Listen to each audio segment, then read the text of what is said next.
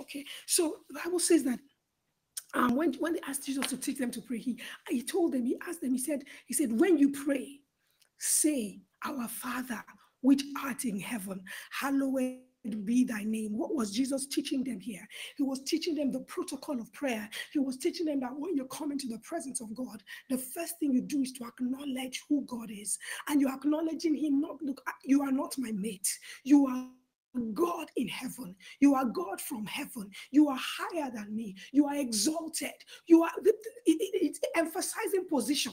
From that first line, he's saying, when you please say our father. So, first of all, the relationship between you and God is the relationship of a father and a daughter, or a father and a son.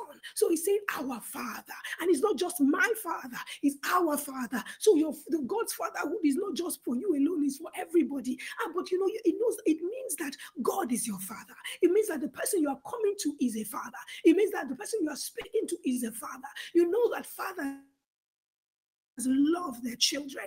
God is a father. The first base of our relationship of prayer with God is that we are coming to our Father. We are not coming to a, a punisher. We are not coming to a wicked boss. We are not coming to somebody who doesn't love us. We came. We are coming to somebody who is a source. The word Father there means source. It means Abba. It means in, in, in those days it was impossible for you to call God. They didn't know how to call God Father. The scribes and the Pharisees they knew God by Elohim. They knew God by Adonai. They knew God by all those names. They knew Him as Yahweh. They knew Him as Jehovah. But they didn't understand the relationship between him and them as father. They couldn't get the relationship as father. So what Jesus Christ taught us here, he said the first thing, you know, when you pray is to know that you're coming to a father. Hallelujah. We're coming to our father this morning. He is father. Hallelujah. He is father, our father, our father, our source, the one from whom I've come. And I'm going to be praying as I'm teaching you. So as I'm praying, you understand what I'm doing. You know, our father who art in heaven, I am coming to you this morning, my father. I thank you, Lord, because you are my father. I thank you because I came from you. My identity is in you. I am from you.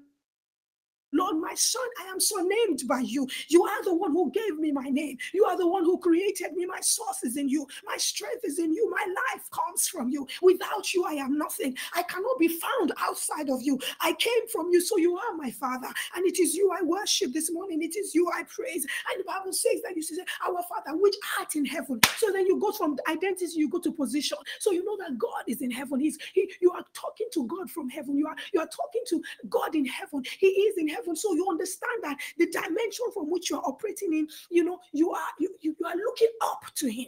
You are looking up to him. He's not your, he's not on your same level. He's not, you are not talking to somebody who is on your level. You are talking to somebody who is in heaven. So that gives you an idea that you know God is in heaven. You you are worshiping God in heaven. You are praying to God in heaven, and that gives you an idea that God is supreme and God is superior, and that God is is high up there. You know, even though He's a father, even though He's your He's your dad, even though He loves you, don't mix it up. Don't forget the fact that even though He's your father, He is God in heaven. Yes, He's your father. Yes, He loves you. Yes, He cares for you, but He is in heaven and He controls. You understand? He is supreme. He is superior. He is God.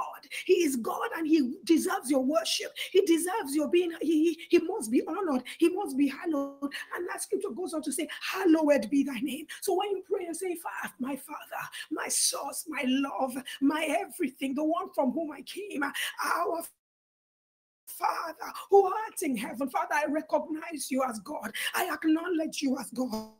I declare you are God. You are higher than the highest. You are greater than the greatest. You are better than the best. Oh God, you are the supreme God. You are Elohim. You are Adonai. I worship you this morning. Hallowed be your name. Hallowed be your name. Father, I praise you because you're deserving of my praise. You are deserving of my worship. Everything that I am comes from you. You are my strength. You are my life. You are my existence. Oh God, this morning I worship you. Hallowed be your name and then you go on and you're and you're praising and you are thanking him and you're giving him praise. You understand what I'm saying? And you are saying, God, thank you. You're saying, God, thank you. And the Bible says, Thy kingdom come, thy will be done. The next verse, he says, Thy kingdom come. Hey, Mashatabaya. Then, after you've worshipped, after you've praised him, after you've acknowledged that you are from him, after you've said, said thank you, after you've hallowed him, after you've respected him, you've honored him, then you begin to pray and you say, Lord, thy kingdom come. The first thing you want to concentrate on is not your needs. The first thing you want to concentrate on is not you. You want to say, Lord, your kingdom come. You want to say, Lord, your kingdom come. You want to say, Father, your kingdom come. Your kingdom come, my Father. Your, kingdom come. What does it mean to be? What does kingdom mean? Kingdom means government. Kingdom means, you know, the king over a domain. So it's not just kingdom for, you know, not just the word many times when we hear kingdom, we think about royalty. Yes, royalty, but you know, kingdom, domain, authority, government. God has a kingdom, and that kingdom that He has placed us in is the earth. Do you understand? But we all know that there are forces upon the earth that try to take the kingdom, that try to rule. So when we are praying, we're saying, God, your kingdom come. God, your government to be established on the earth. God, we are establishing your kingdom. We're establishing your rule. We're establishing your reign. We're establishing your power. We're establishing your dominion. We're establishing your authority. So God wants us to pray and establish his authority. His kingdom come. His principles, the principles of the kingdom. What is kingdom? Kingdoms have rules. In this kingdom, this is how you do things. So you're praying, God, let your authority be upon the earth. Let your will be done. Before we even go to will, let's still talk about kingdom come. Let his government come. Let his ideology come. A kingdom is defined by its ideology. Like the, you know, when the British came to colonize Nigeria, they brought their ideology, they brought their way of dressing, they brought their way of speaking, they brought the way of, of everything, their laws, their government, everything changed. When you are praying that God's kingdom should come, you are praying let his rulership come, you are praying let his authority come. Please, sisters, just give me five more minutes this morning. I know we're behind time, but I need to teach this. And I know that the enemy doesn't want you to learn it. So please allow me to teach it, please. So he says, Thy kingdom come. So when you are praying that prayer, you begin to pray. You can be praying over the nations. You can be praying over your government. You can be praying, for example, there are PDP and APC primaries going on this in this season. So when you pray, God, let your kingdom come. Father, Lord God Almighty in the government, in, in the nations, oh God. Father, in my in my city, in my home, in my business, Father, Lord God Almighty, in my work, in my family, let your kingdom come, let your ideology come. Father, let your your, your thoughts, your patterns, Father, let it happen upon the earth in the name of Jesus. You begin to bring the Lordship of God upon every situation that is around you, everything that is under your influence. You begin to invite his kingdom, you begin to establish his authority, and you begin to say, Lord, let your kingdom come. You're about to take a decision, you're saying, Lord, let your kingdom come. And then after you pray that you go to my will, thy will be done. Thy will be done. This is a place of surrender. This is a place of saying, God, Lord God Almighty, I recognize, Father, that I have my will. But Lord God Almighty, I submit it to you. I submit it to you. There's something I always say. I always say, I said, until God tames you, He cannot use you. You know, God, God doesn't use vessels that are not broken. Hey, God will break you. And this is the language of brokenness. Thy will be done. Thy will be done. You are saying, Lord, I surrender my will. Oh, thy will be done. Lord, I lay down. I lay down my will. I lay down my will. I know, Lord God Almighty, that I have an idea of how this thing is to be done. Lord God Almighty, I acknowledge that I have my own ideas, but God, I acknowledge your superiority. I declare, oh God, let your will be done. And you're beginning to pray. You know, for example, Lord, I've been praying for some for a few days now. I've been praying about the abortion laws in the US because you know that burden has just come upon me. And God, every day, every day, millions of babies are sacrificed to the god of Molech, because Molech is the one that determined that asked the children of Israel to sacrifice their children every day, and it's government sponsored. The government sponsors, you know, abortion, the death of innocent children, blood sacrifices every day. So for I've been praying about it, God, let your will be done. In the name of Jesus, I overturn rules, I overturn decrees, I overturn government rules, I overturn policies, Father, that are anti your will, that are anti God, that are that are funding the system of Babylon. Father, Lord God Almighty, let your will be done. In the name of Jesus. So you can pray about things like that, and you pray about you, you know, you, you can start from your nation, you can start from your country, you pray, you know, to your to your city, you pray for your family, you pray for yourself. I say, God, let your will be done. You lay your will down. Father, I know that I want to move to, I want to move to UK. Lord, I want to move to the US, but God, not my will. Your will be done. I know everybody shouting Nigeria is going crazy, but not my will, your will be done. Father, I do not want to be, you do not want to be out of the will of God. I'm telling you, if you're out of the will of God, you're on your own. The worst place to be ever on earth is to be out of the will of God. When you are in the will of God, you are secure. When you are in the will of God, you are immune. When you are in the will of God, you are automatically protected. One day out of the will of God is all the devil needs. One day out of the will of God is all the devil needs. You do not want to be found outside his will. So you are praying, Lord, thy will be done. Thy will be done as it is in heaven. Now, when you pray that, then you're going to pray patterns. You begin to pray down patterns. You begin to pray down instructions as, is, as it is in heaven. It is not just saying, Father, okay, yes, we have prayed thy kingdom come. We have prayed thy will be done. Then he now goes further as it is in heaven. So there is a pattern. There is a system. There's something God has already designed. There's something God wants. And so you're beginning to pray for instructions here. Father, as it is in heaven, let it be here on earth. As you have done it in heaven, let it be in my life. You know where I'm supposed to be in the next 50 days. You know where I'm supposed to be in the next 50 years. You know where I'm supposed to be. You know where which which company I'm supposed to be working for. You know, Lord God Almighty, which decision I'm supposed to be taking. You know which business I'm supposed to be going into. Father, let it be done as it is in heaven, as you have written of me in the volume of the books. So let it be in the name of Jesus. So that is why you're praying. And you're praying that prayer like that. Let's quickly move on. Hallelujah. And then you go to give us this day. I wish I had time to walk this. Give us this day our daily bread. Eh, this is where you pray and you begin to call for the provisions of heaven. You begin to ask God, Father, Lord God Almighty, give me my daily bread. I'm telling you, this, this scripture tells me that every day there is something apportioned for you that has your name written on it. But when you don't pray it and activate it and call it forth, it doesn't come. So your knowledge, your understanding of what this prayer is doing for you this morning is giving you understanding. So whenever you go to the presence of God, you know how to pray.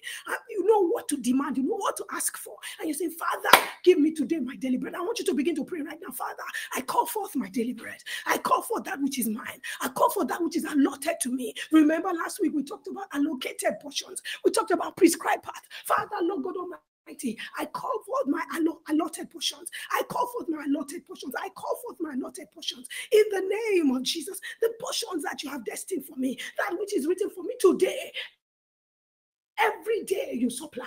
Every day you supply. No day goes by without you having a daily bread. Like the Bible said in the, in the, in the, in the, in the book of Exodus, Bible says that God gave them manna every day. Every day if there was manna. They didn't even have to, it was there. Father, Lord God Almighty, I receive today's manna. Spiritual manna I receive. Intellectual manna I receive. Financial manna, my Father, I receive. Relationship manna I receive. My health manna, my Father, I receive. Hey, my destiny manna I receive uh, in the name of Jesus. Uh, give us this day our daily bread. Men, give unto me. Oh God, you bless the work of my hands. Uh, favor is all around me. In the name of Jesus, the systems are working for me. I embrace today's daily bread. I receive today's daily bread. I walk in today's daily bread. I enjoy the daily bread today. It comes into my hands. Nothing stops it. Everything that stands against it, I move it out of the way. I enter, oh God, into my daily bread in the name of Jesus. And the next thing he says, forgive us our sins. Forgive us our sins as we forgive those who sin, who, as we forgive those who sin against us. So this way you're going to be praying that Lord God Almighty, in any way I have sinned against you, Father, forgive me. In any way I have hurt you. In any way I've said things that I'm not supposed to say. In any way I've had thoughts that I'm not supposed to think of. Father, I, I acknowledge my humanity. I acknowledge my frailty. I know I am human. Father, please have mercy on me. Forgive me, my Father. Forgive every and as you're praying that God should forgive you and have mercy on you, you're pleading the blood of Jesus. You are also forgiving everyone that has hurt against you. So this is where you pray for your relationships and you pray for people. This is what I pray for people. I pray for the members of God's Diva Club. I pray for, for everybody in my life, my family members, every everybody. I spend this time I use it to invest in the lives of people. Father, Lord God Almighty, I pray in the name of Jesus, Lord, in any way I have, may have hurt anyone that I don't even realize. Lord God Almighty, I pray forgiveness in the name of Jesus as I forgive. I, I ask you to forgive me, and as you forgive me, Lord, I forgive them in the name of Jesus. And anyone that has hurt against me, Father, cause them to forgive me. Father, Lord, I pray for my relationships. I pray, oh God, for my husband. I pray for my daughter. I pray, oh God, for everybody around me, Lord God Almighty. In the name of Jesus, I have good relationships with them. Thank you, Father. Father, for the members of God's own Diva Club, I have good relationships with them. I declare them blessed in them, going out and they're coming in. Everything they do, Lord God Almighty, the blessing is over them. In the name of Jesus, they will not be trapped. Issues that they do not understand will not come near them. And you begin to pray like that, and you pray, and then let's quickly move on. Oh, thank you, Jesus. And then he says, Lead us not into temptation. You know, the enemy doesn't just come, he doesn't just come to you, he studies you. He knows that which is your weakness. He knows that which trips you. He knows that which triggers you. He knows. The enemy doesn't just come, he's a very intelligent, crafty Satan. So when Bible says, lead us not into temptation, he's saying, God, that temptation that is taking me Hey, Akataba. Father, help me not to walk into it. I pray this one, I always pray very well. Father, lead me not into temptation. Every situation, Lord God Almighty, that is bigger than me. Every situation, my Father, Lord God Almighty, that is that, Lord God Almighty, I'm susceptible to. Father, Lord God Almighty, help me to overcome it. Help me to see it from a long distance. Father, help me to see it when it's coming that I may avoid it. Lead me not into temptation. Father, that which is too much for me, then let me walk into it. Father, today I jump and pass every temptation, every wickedness of the wicked, every plan and purpose of the enemy that they have laid for me, every trap that is in my way. Father, Lord God Almighty, I, I jump over it. I decree and I declare, lead me not into temptation. I overcome every temptation. I overcome every temptation in the name of Jesus. And he says, but deliver us from evil. Ah, Masotobaya, I taught you, I said, this is the day that the Lord has made.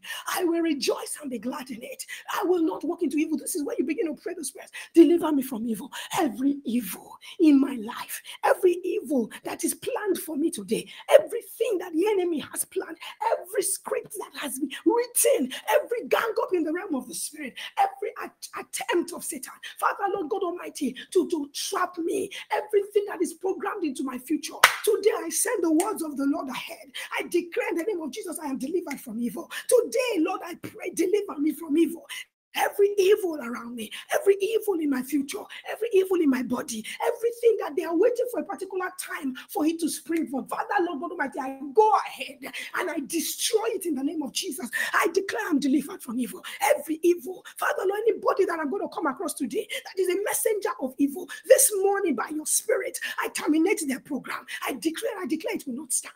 Deliver me from evil in the name of Jesus. And then he says, the power and the glory forever and ever again, and then you worship God. And if there's any other thing you don't want to pray, you cannot pray it. If any other matter in your in your in your in, in your heart, and you cannot pray. But I'm telling you, if you follow this pattern of prayer, ah, yata, bayaba, you would have prayed for one hour.